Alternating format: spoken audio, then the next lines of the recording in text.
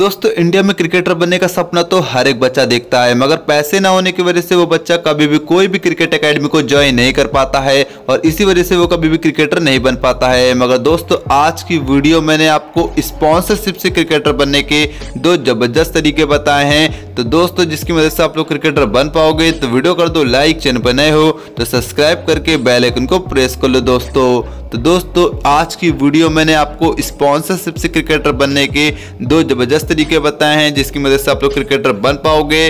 पहले जो तरीका है स्पॉन्सरशिप से क्रिकेटर बनने का।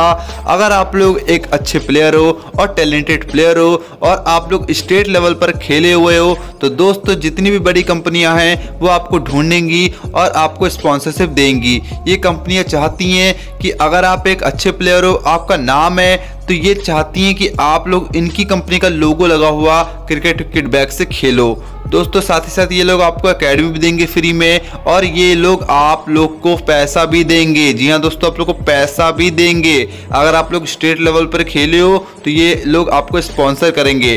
इसके लिए आपको किसी लेवल पर खेलना पड़ेगा, तभी ये लोग आपको स्पॉन्सर करेंगे। दूसरा जो तरीका है स्पॉन्सरशिप से क्रिकेटर बनने का, वो है टैलेंट हंट इंडिया में इस समय काफ़ी सारे टैलेंट हंट होते रहते हैं। अगर आप लोग टैलेंट हंट में पार्टिसिपेट करते हो और वहाँ पर सिलेक्ट हो जाते हो तो आपको स्पॉन्सरशिप मिल जाती है। और आप लोग स्पॉन्सरशिप की मदद से आप लोग किसी भी एकेडमी में फ्री में एडमिशन ले पाते हो। अपना एक रुपये बिना खर्च किए।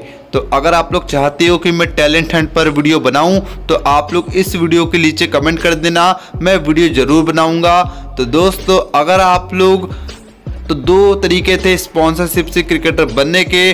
तो दोस्तों, अगर आप लोग को ये वीडियो पसंद आए तो वीडियो को लाइक करो, शेयर करो, अपनी कोई भी राय हो तो कमेंट करके बताना। आज के लिए इतना ही। जय हिंद, जय भारत, वंदे मातरम, भारत माता की जय।